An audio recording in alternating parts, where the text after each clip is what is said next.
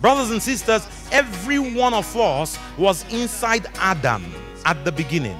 Even Eve was inside Adam at the beginning. You'd notice that when Eve ate of the tree, nothing happened, nothing spoiled. It is when Adam ate that the Bible says the eyes of them both were open. You know why? When Eve ate out of it, it could be remedied. But when Adam ate out of it, my brothers and sisters, I was inside Adam. You were inside. Everybody else was inside Adam. So when Adam ate, everybody ate. When Eve ate, nothing was in her. Adam had not put anything inside. And so the Bible says, For all have sinned and come short of the glory of God.